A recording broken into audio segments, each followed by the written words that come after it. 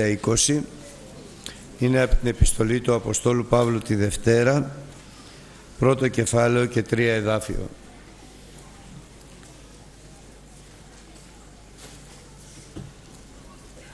Σελής 1020, πρώτο κεφάλαιο, τρία εδάφιο. Ευλογητός ο Θεός και Πατήρ του Κυρίου ημών Ιησού Χριστού, ο Πατήρ των νικτυρμών και Θεός πάσης παρηγορίας. Ο παρηγορών ημάς εν πάση τη θλίψη ημών. Διαναδυνόμεθα ημείς να παρηγορούμεν τους εν πάση θλίψη δια της παρηγορίας με την οποία παρηγορούμεθα ημείς αυτή υπό του Θεού διότι καθώς περισσεύουσιν τα παθήματα του Χριστού εις ημάς, ούτω δια του Χριστού περισσεύει και η παρηγορία ημών. Και είτε θλιβόμεθα, θλιβόμεθα υπέρ της παρηγορίας σας και σωτηρίας της ενεργουμένης δια της υπομονής των αυτών παθημάτων τα οποία και εμείς πάσχουμε. Είτε παρηγορούμεθα, παρηγορούμεθα υπέρ της παρηγορίας σας και σωτηρίας και η ελπίση την οποία έχουμε είναι βεβαία υπέρ ημών. Επειδή εξεύρωμεν ότι καθώς είστε κοινωνοί των παθημάτων, ούτω και της παρηγορίας. Διότι δεν θέλουμε να αγνοείτε αδελφοί περί της θλίψεως ημών ή της συνέβη ημάς εν τη Ασία ότι καθ' υπερβολήν στενοχωρήθημεν υπέρ δύναμη ώστε απελπίστημεν και του ζήν. Αλλά εμείς αυτοί εν εαυτής ελάβομεν την απόφαση του θανάτου δια να μην έχουμε πεποίθηση σε αυτούς αλλά εις τον Θεόν τον εγείροντα τους νεκρούς, ως της ηλευθέρωσεν ημάς, εκτός του μεγάλου θανάτου και ελευθερώνει, και στον οποίον ελπίζομεν ότι έτη θέλει ελευθερώσει, ενώ και εσείς συνεργείτε υπερ ημών, δια της δεήσεως, δια γίνει εκ πολλών προσώπων ευχαριστία υπερ ημών, δια το δοθένης ημάς χάρισμα δια πολλών, διότι το κάφημα ημών είναι τούτο, η μαρτυρία της συνειδήσεως ημών ότι εν απλότητη και ειλικρινία Θεού ουχή εν σοφία σαρκική αλλά εν χάρη Θεού επολιτεύθυμεν εν το κόσμο περισσότερο δε προς εσάς διότι δεν σας γράφουμε άλλο παρά εκείνο το οποίο αναγινώσκεται ή και γνωρίζετε Ελπίζω δε ότι και ως τέλους θέλετε γνωρίσει καθώς μας εγνωρίσατε κατά μέρος ότι είμαι θα κάφημα εις εσάς καθώς εσείς εις ημάς εν τη ημέρα του Κυρίου. Αμήν. Ο Απόστολος Παύλος λοιπόν γράφει μία επιστολή από τους Φιλίππους ενώ βρίσκεται στους Φιλίππους. Δευτέρα επιστολή προς την Εκκλησία των Κορινθίων αφού πριν λίγο έχει περάσει από μία φοβερή κακοπάθεια. Τρομακτική κακοπάθεια που τον έφθασε ποιον; Τον Απόστολο Παύλο να είναι απελπισμένος και να ζει. Να λέει μέσα του δηλαδή δεν αντέχω άλλο να βλέπω αυτά που βλέπουν τα μάτια μου. Να ακούω αυτά που ακούν τα αυτιά μου. Δεν αντέχω άλλο. Δεν μπορώ άλλο. Απέκαμα. Και τι ήταν αυτό, κάτι πραγματικά πάρα πολύ σοβαρό, είναι βρισκόταν στην Έφεσο και εκεί εργαζόταν ο Κύριος με μεγάλες δυνάμεις ως το κήρυγμα του Ευαγγελίου των κεχρισμένων του Θεού. Θυμηθείτε και τους 12 μαθητές του Απολό που ήσαν βαφτισμένοι βάφτισμα μετανοίας και όχι βάφτισμα σωτηρίας στο όνομα του Χριστού. Όταν γνώρισαν την ορθοτόμηση του Λόγου του Θεού και βαφτίστηκαν εν ο Κύριος τους έχρισε με πνεύμα Άγιο και με δύναμη και τους απέστειλε και τους χρησιμοποίησε στο έργο το οποίο ο Θεός προκαταβολής κόσμου είχε ετοιμασμένο για Αυτόν για αυτούς. Και ενώ όλα πήγαιναν από ευλογία σε ευλογία και από δόξα σε δόξα ξαφνικά δίνει ελευθερία, επιτρέπει ο Θεός στο διάβολο να φέρει έναν μεγάλο πειρασμό και στους πιστούς να περάσουν μια μεγάλη δοκιμασία. Κάποιος Δημήτριος, ο οποίος έφτιαχνε αγάλματα και εικόνες βλέποντας ότι άνθρωποι πίστευαν στον Χριστό και απομακρυνόντουσαν από τα είδωλα περιφρονώντας τις παραβάσεις από το Λόγο του Θεού που είναι και τα είδωλα ξεσήκωσε τους τεχνίτες και ο Θεός επέτρεψε δεν μπορεί να γίνει αλλιώς και ξεσηκώθηκε ολόκληρη η πόλη.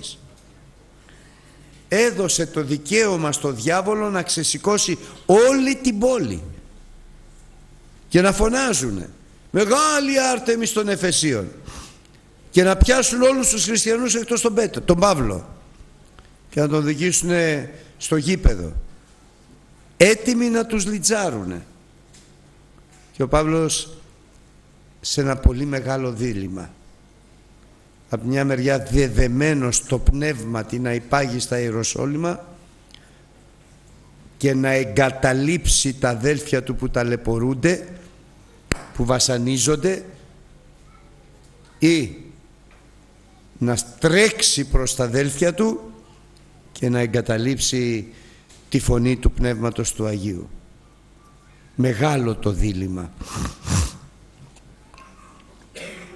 Και πρέπει να δοκιμαστεί και ο Παύλος. Ποια φωνή θα ακούσει; Του Πνεύματος του Αγίου που του λέει πήγαινε ή της καρδιάς του που του λέει στάσου εδώ.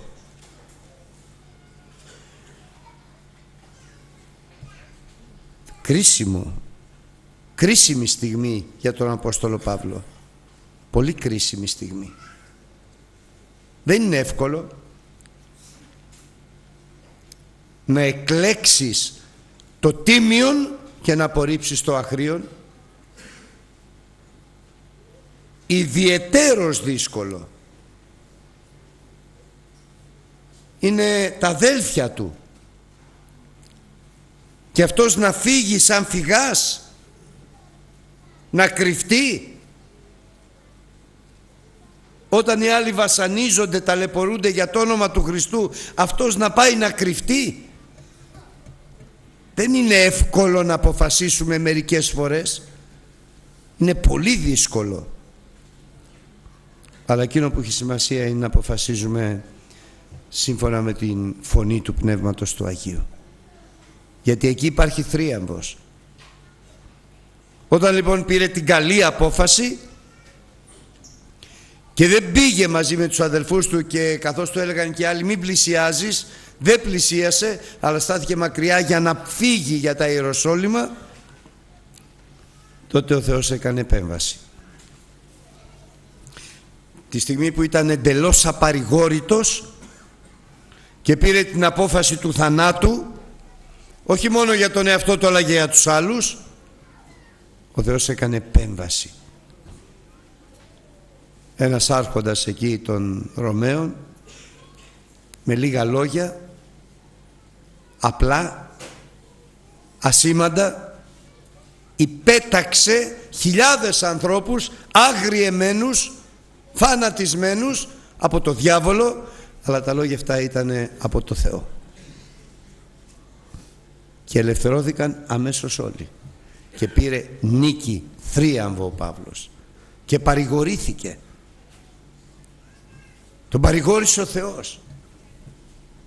Και έγραψε αυτή την όμορφη επιστολή που διαβάζουμε εμείς σήμερα διαπνεύματος Αγίου από τη δική του εμπειρία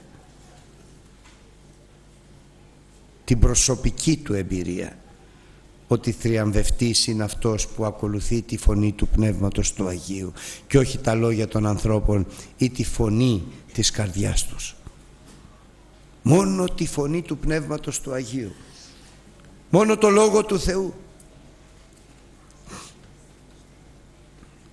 Και τώρα με παρησία αλλά και με επίγνωση με ποιον Θεό έχει να κάνει.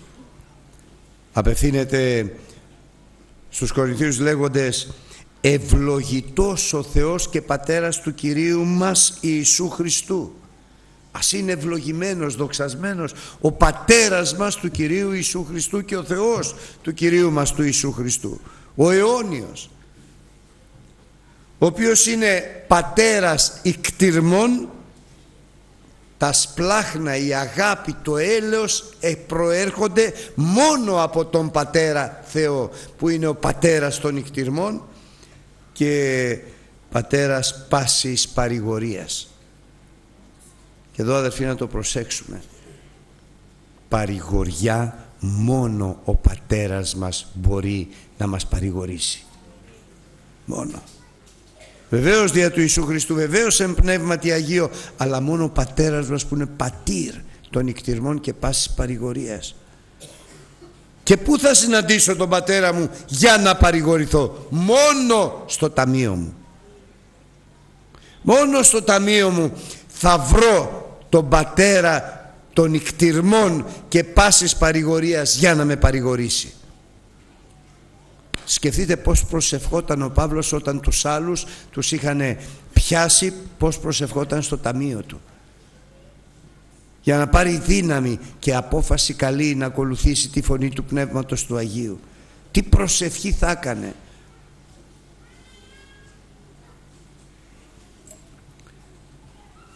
Και ομολογεί αυτός ο πατέρας των νικτυρμών και πάρης παρηγοριάς είναι αυτός που μας παρηγορεί σε κάθε είδους θλίψη. Δεν μας παρηγορείς στις μικρές θλίψεις.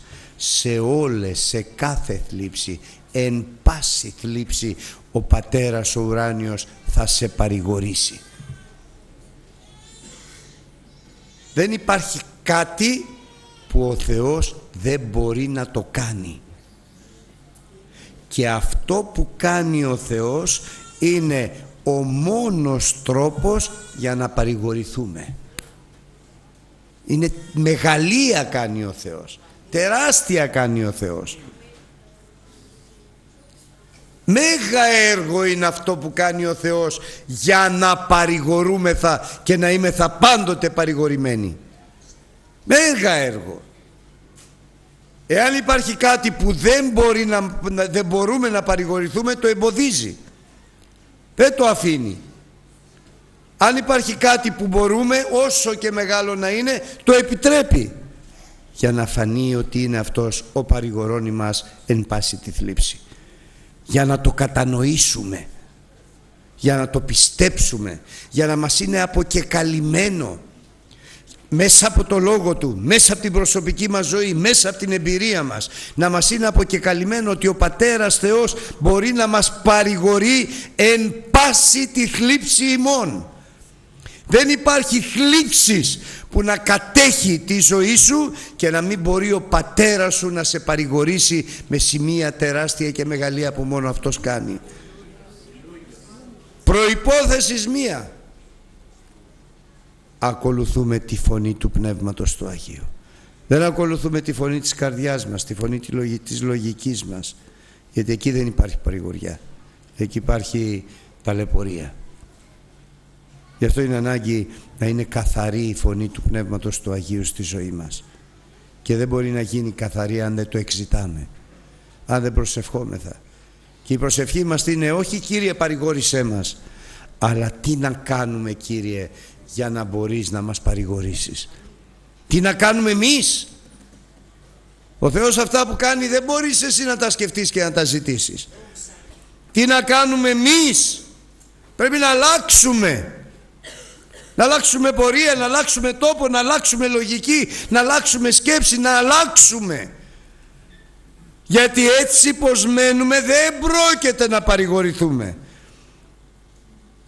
Δεν μπορεί ο Θεός να μας παρηγορήσει γιατί περπατάμε με το μυαλό μας, με την καρδιά μας, με τα συναισθήματά μας, με τους φόβους μας, με τις αγωνίες μας, με τις μέρημνές μας και είναι αδύναμος ο Θεός να μας παρηγορήσει. Δεν μπορεί. Θέλει. Αλλά δεν τον αφήνουμε. Γι' αυτό δεν ζητάμε από το Θεό. Δεν ετούμεθα από το Θεό τι να κάνεις στη ζωή μας. Αλλά ζητάμε τι θέλεις εσύ Κύριε να κάνουμε που να είναι το θέλημά σου το αγαθόν, το ευάρεστον και το τέλειον. Γιατί όταν πράξουμε δεδεμένη το πνεύματι το Αγίο όπως ο Παύλος το θέλημα του Θεού τότε η παρηγοριά είναι ένδοξη, παντοδύναμη και μεγάλη και είναι ανάγκη να παρηγορούμε εν πάση τη θλίψη μας. Γιατί μόνο τότε μπορούμε να παρηγορήσουμε εμείς και τους εν πάση θλίψη. Εάν εμείς δεν είμαστε σε κατάσταση να μπορεί ο Θεός Πατέρας που θέλει να μας παρηγορεί εν πάση τη θλίψη μας ποτέ δεν θα μπορέσουμε να εκπληρώσουμε το έργο μας και την αποστολή μας να παρηγορούμε τους εν πάση θλίψη ποτέ και δεν είναι ότι δεν παρηγορούμε θα εμείς που είναι πολύ σημαντικό και κακό αλλά δεν παρηγορείται και η οικογένειά μας δεν παρηγορείται η γυναίκα μας, δεν παρηγορούνται τα παιδιά μας. Στη θλίψη τους. Δεν είμαστε παρηγορητές. Είμαστε άθλιοι παρηγορητές. Χωρίς καρποφορία, χωρίς αποτέλεσμα, χωρίς ευλογία. Δεν είμαστε δούλοι Θεού. Γιατί ο δούλος του Θεού δεν έχει προσωπική γνώμη και άποψη και θέληση. Ο δούλος του Θεού είναι απόλυτα υποτεταγμένος στον Κύριό Του. Απόλυτα όμως. Απόλυτα. Και εξητάει τι θέλεις από μένα Κύριε να κάνω; Εκείνο όμως που είναι ένα σοβαρό πρόβλημα αν και λεπτομέρεια είναι πολλές φορές αισθανόμαστε αυτοδικαιωμένοι γιατί κάνουμε. Και πράγματι μερικές φορές κάνουμε αλλά δεν τα κάνουμε όλα όσα θέλει ο Θεός. Πράγματι ο Απόστολος Παύλος κήρυτε, προσευχότανε, πιστεύανε, χρησιμοποιούσε τα χαρίσματα που του είχε δώσει ο Θεός, τις δυνάμεις, ήταν ακούραστος, δεν σταμάτησε ποτέ να εργάζεται. Με 1,5 χρόνο αν θυμάμαι καλά στην, ε, στην Ασία και στην Έφεσο. Έκανε. Αλλά τώρα έπρεπε να κάνει αυτό το ένα που θα κάνει τη μεγάλη διαφορά. Να εγκαταλείψει στα χέρια του Θεού τους αδελφούς του και τους συνδούλους του και να προχωρήσει μόνος του στην οδηγία του Πνεύματος του Αγίου. Αυτό το ένα θα κάνει τη μεγάλη διαφορά. Αυτό το ένα κάνει τη μεγάλη διαφορά στη ζωή μας. Επαναλαμβάνω, πολλά κάνουμε. Και πολλές φορές χαιρόμαστε και καλά κάνουμε και αυτο, αυτοδικαιωνόμαστε και χάλια κάνουμε. Αλλά ό,τι καλό και αν κάνουμε πρέπει να ψάξουμε να βρούμε αυτό το ένα. Το ένα που ο Θεός περιμένει να κάνεις να κάνω. Και από εκεί και πέρα όταν έρθει αυτό το ένα έρχεται η μεγάλη ανατροπή στη ζωή. Λίγα λόγια αυτού του άρχοντα εκεί στο θέατρο, στο γήπεδο και τακτοποίησε τα πάντα ο Θεός. Έφτιαξε τις καρδιές όλων των κατοίκων της Εφέσου. Ξαγριεμένες, τις φανατισμένες. Ναι πως κάνετε έτσι λέει, θα βρουν και τον πελά μας. Αυτό τους είπε, τίποτα άλλο. Αλλά ήταν λόγια Θεού που ο Θεός ενήργησε. Γιατί ενήργησε όμως; Γιατί ο Απόστολος Παύλος πήρε την καλή απόφαση εξέλεξε την οδηγία του Πνεύματος του Αγίου. Εξέλεξε όχι μόνο να ζει κατά το Πνεύμα, αλλά και να περπατάει κατά το Πνεύμα. Και τώρα είναι έτοιμος και κηρύττει κιόλας πως να γίνουμε έτοιμοι να μπορούμε και εμείς να παρηγορούμε εν πάση την παρηγορία με την οποία μας παρηγορεί ο Θεός. Πότε και πώς περπατώντας κατά πάντα στην οδηγία του Πνεύματος του Αγίου απορρίπτοντας κάθε λογική ανθρώπινη, κάθε σκέψη ανθρώπινη περπατώντας στις εντολές του Κυρίου και πράττοντας τα εφάρεστα ενώπιον του Θεού. Και έτσι λοιπόν ο Απόστολος Παύλος εκφράζει ένα πνευματικό νόμο απαράβατο διότι καθώς περισσεύονται τα παθήματα του Χριστού σε μας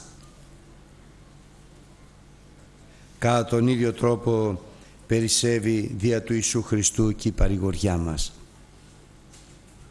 το επαναλαμβάνω καθώς περισσεύουν τα παθήματα του Χριστού σε μας, τότε περισσεύει και η παρηγοριά του Θεού δια του Ιησού Χριστού σε μας. Δηλαδή όσο κουβαλάμε το σταυρό μας τόσο θα μας παρηγορεί ο Θεός. Όσο περπατάμε τη στενή και, εισερχόμεθα δια της στενής πύλης και περπατάμε την τεθλιμένη οδό τόσο θα μας παρηγορεί ο Θεός. Εάν εμείς προσπαθήσουμε μόνοι μας να κάνουμε το σωστό σταματάει η παρηγοριά του Θεού δια του Ιησού Χριστού σε μας. Πόσο ευαίσθητη η αδελφοί είναι δια Πνεύματος Αγίου η ζωή μας. Πώς μπορούμε να μεταφερθούμε από την απόλυτη παρηγοριά στην απόλυτη απελπισία ή από την απόλυτη απελπισία στην απόλυτη παρηγοριά. Με μία σκέψη. Τι θέλεις Κύριε να κάνω; Φώτισέ με. Δεν θέλω να κάνω εγώ ό,τι θέλω. Θέλω να κάνεις εσύ στη ζωή μου ό,τι θέλεις. Φώτισέ με. Γιατί πολλές φορές παίρνουμε φόρα φόρα, ενθουσιασμένοι. Γιατί, γιατί είμαστε χριστιανοί, γιατί μας πληρώνει ο Θεός με πνεύμα Άγιο. Από προσωπικά λάθη σας τα λέω και εμπειρίες. Παίρνουμε φόρα, θα πάμε να κάνουμε τούτο, θα κάνουμε και τ' άλλο. Και, και κάνουμε και κάνουμε και κάνουμε και δεν κάνουμε αυτό που πρέπει. Το ένα. Αυτό που θα μεταμορφώσει τη ζωή μας από απελπισία σε απόλυτη παρηγοριά αυτό που θα μεταμορφώσει τη ζωή μας από αδυναμία στο να παρηγορούμε σε δύναμη να παρηγορούμε τους εν πάση τη θλίψη. Αυτό που θα μας αλλάξει και θα μας καταστήσει δέντρα πεφυτευμένα παρά τους δρίακας των υδάτων φύτευμα του Κυρίου εις δόξαν αυτού. Ένα, αυτό το ένα. Δεν το ξέρω για σένα, ούτε μπορώ να σου το πω. Μόνο ο παράκλητος το πνεύμα της αληθείας το έχει μπροστά σου.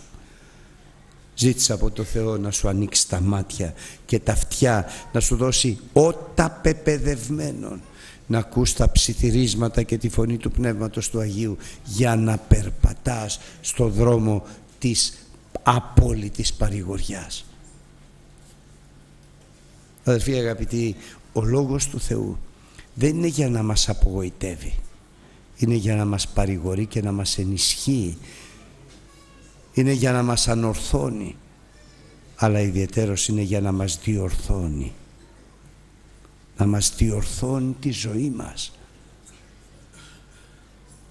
Όταν ερχόμαστε εδώ να ακούσουμε το Λόγο του Θεού δεν ερχόμαστε για να περάσουμε μια ώρα από υποχρέωση. Ερχόμαστε για να μας διδάξει ο Χριστός. Όλοι μας μηδενός εξαιρουμένου να μας διδάξει ο Χριστός πως να περπατάμε, πως να σκεφτόμαστε, πως να ακούμε, τι να ακούμε, τι να ζητάμε. Ζητείτε λέει και δεν λαμβάνετε. Γιατί ζητείτε για να ικανοποιήσετε τις απαιτήσεις της καλοπέρασής σας. Εμείς δεν θέλουμε αδερφοί αγαπητοί να ζητάμε και να μην λαμβάνουμε. Εμείς θέλουμε να μας ζητάει και να του δίνουμε. Δεν είναι να παίρνουμε από τον Χριστό, είναι να δίνουμε. Τι να δώσουμε, τη ζωή μας, την ψυχή μας, τη λογική μας, την καρδιά μας, τα πάντα. Να πούμε ανήκουν στο Χριστό. Εσύ τι είσαι, δούλος. Και ο δούλος ανήκει κατά πάντα στον Κύριό του. Δούλη και η δούλη ανήκει κατά πάντα στον Κύριό της. Δεν έχει θέλημα, δεν έχει απαιτήσεις. Είτε δει κανένα δούλο να λέει δώσω μου αύξηση στο μισθό. Δώσε μου τούτο, κάνε μου εκείνο στον Κύριό του. Έχει εξουσία ζωής και θανάτου ο Κύριος στο δούλο. Και είμαστε εχμάλωτοι, εχμαλωτισμένοι από την αγάπη Του. Δέσμοι δέσμοι της χάρης Του. Γιατί Αυτός μας ελευθέρωσε. Από τα δεσμά και από την εχμαλωσία και από τη φτώχεια την πνευματική. Και μας έφερες στον πλούτο πλούσιος όν πέθανε για να πλουτίσει εμάς. Μας έφερες στον πλούτο του ουρανού. Και αγωνίζεται να μας καταστήσει χρήσιμους με έργο και αποστολή για τον εαυτό μας, για τη γυναίκα μας, για τα παιδιά μας, για την οικογένειά μας, για την εκκλησία, για τους συγγενείς μας, για τους ε, συναδέλφους μας να μας καταστήσει δούλους Του. Να απολαμβάνουμε την παρηγοριά του Θεού και να προσφέρουμε την παρηγοριά του Θεού εν πάση τη θλίψη ημών και εν πάση τη θλίψη των άλλων. Αδελφοί, ο χριστιανός έχει μια ευλογημένη ζωή, αλλά ταυτόχρονα ένδοξη, όμορφη, γεμάτη όμως παθήματα και ταλαιπωρίες. Σεις είσαστε λέει παιδιά του Θεού, κληρονόμοι του Θεού, συγκληρονόμοι του, του Ιησού Χριστού, πότε, αν συμπάσχετε μετά του Ιησού Χριστού. Εάν δεν συμπάσχετε μετά του Ιησού Χριστού, τίποτα δεν είσαστε. Και πώς συμπάσχουμε; Εξητώντας τη φωνή του Πνεύματος του Αγίου. Περπατώντας στη διαταγή, στις διαταγές του Πνεύματος του Αγίου. Στις διαταγές του Λόγου του Θεού. Είναι ο μόνος τρόπος. Γι' αυτό και ο Απόστολος Παύλος συνεχίζοντας τον απόλυτο πνευματικό νόμο που του έχει δώσει ο Θεός στην καρδιά του λέγει είτε θλιβόμεθα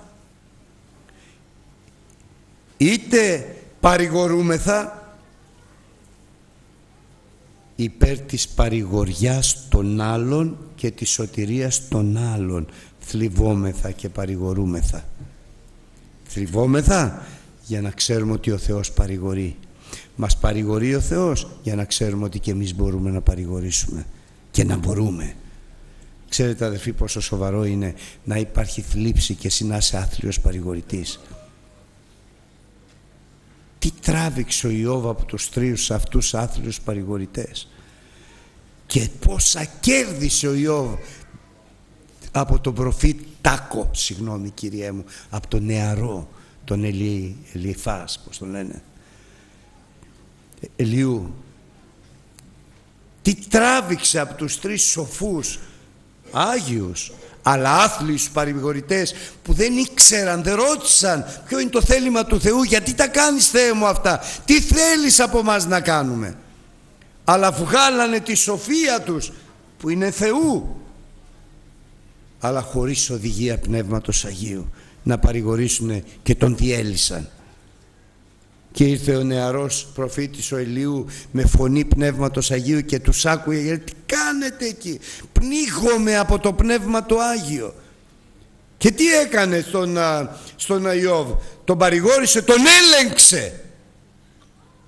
Τι να σου πω τα λάθη σου. Έλα να σου πω το θέλημα του Θεού.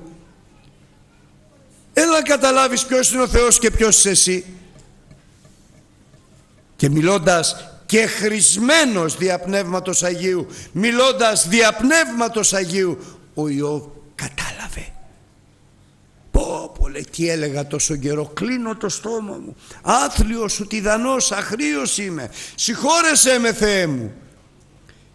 Αλλά πότε το είπε όταν του κήρυξε ο Ελιού διαπνεύματος Αγίου. Τότε ήρθε ο Θεός και τον παρηγόρησε εν πάση την παρηγορή, την θλίψη του. Του έδωσε διπλάσια και του λέει τώρα πήγε να προσευχηθείς και για τους τρεις άθλους παρηγορητάς να τους ευλογήσω και αυτούς, να τους παρηγορήσεις και αυτούς.